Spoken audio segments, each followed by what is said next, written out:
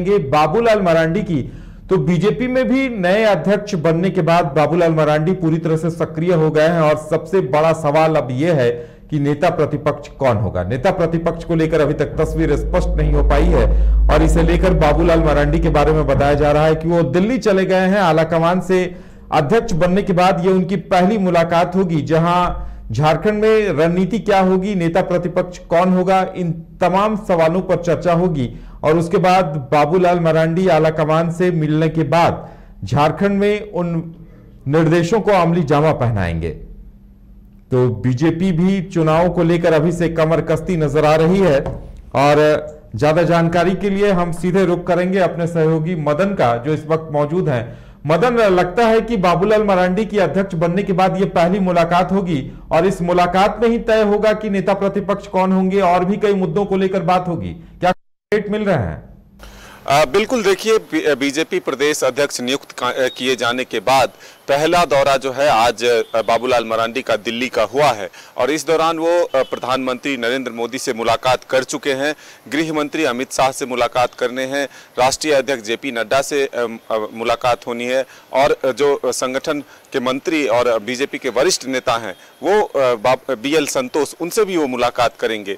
लेकिन इस मुलाकात में सबसे महत्वपूर्ण जो विषय है, वो है फ़िलहाल जब बाबूलाल मरांडी को विधायक दल का नेता चुना गया और उसके बाद नेता प्रतिपक्ष के तौर पर विधानसभा में लगातार तीन बार जो नोटिस भी आए विधानसभा सचिवालय के द्वारा, उस पर जवाब में बाबूलाल मरांडी के ही नाम भेजे गए। लेकिन अब जो परिदृश्य बदला है, यानी कि बाबूलाल मरांडी को प्रदेश भाजपा की जब कमान सौंपी गई है, इसके बाद बाबूलाल मरांडी खुद भी चाहते हैं कि नेता प्रतिपक्ष के तौर पर सदन में किसी और का चेहरा आए।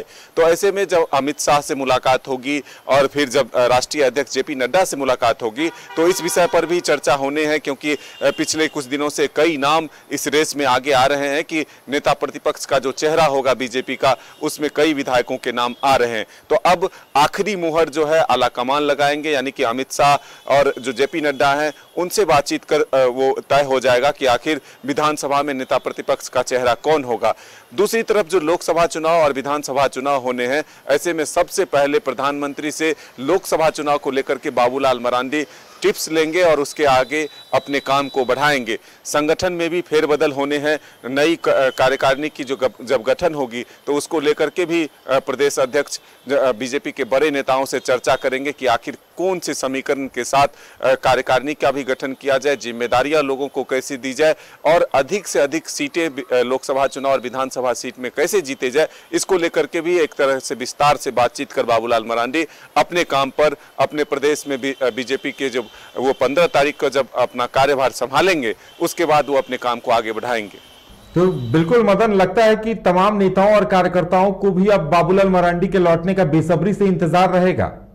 बिल्कुल देखिए, अगर आप बीजेपी प्रदेश कार्यालय में हलचल की बात देखें तो लगातार जब से बाबूलाल मरांडी प्रदेश अध्यक्ष बने हैं, उसके बाद नेताओं के आने का सिलसिला शुरू हो चुका है, चाहे वो प्रदेश के अलग अलग जिलों से हो या फिर अलग अलग प्रकोष्ठ के नेता हो, वो उनमें उत्साह जो है काफ़ी देखने को मिल रहा है और वो इंतज़ार कर रहे हैं कि बाबूलाल मरांडी जब दिल्ली से लौटेंगे और जब उनके पास एक रूपरेखा होगा कि आखिर जो आलाकमान निर्देश देंगे कि आखिर इस हिसाब से आगे बढ़ाना है संगठन को इस तरह से अधिक से अधिक सीट जीतने के लिए जो मंत्र होगा, उसको लेकर जब बाबूलाल मरांडी लौटेंगे तो किन चेहरों को बाबूलाल अपने साथ, अपने फौज में शामिल करते हैं, ये देखने वाली बात होगी। मदन, हमारे साथ जुड़ने के लिए और तमाम जानकारी देने के लिए आपका बहुत बहुत धन्यवाद। तो कहा जा सकता है, निष्कर्ष के तौर पर कि बाबूलाल मरांडी के लौटने का इंतज़ार नेताओं और कार्यकर्ताओं को होगा।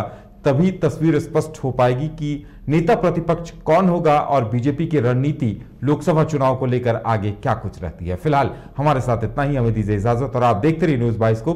नमस्कार।